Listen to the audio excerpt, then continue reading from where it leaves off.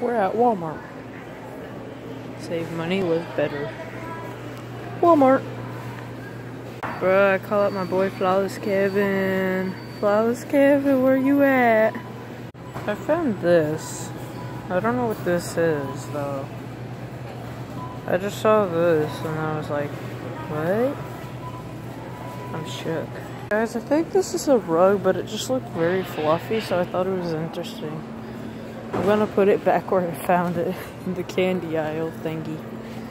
Yeah. I wanna be a cowboy, baby. Dust Daddy.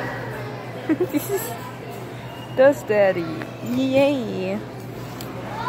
I love anything that has the word daddy on it. Oh god, it sounds so freaking. No, stop.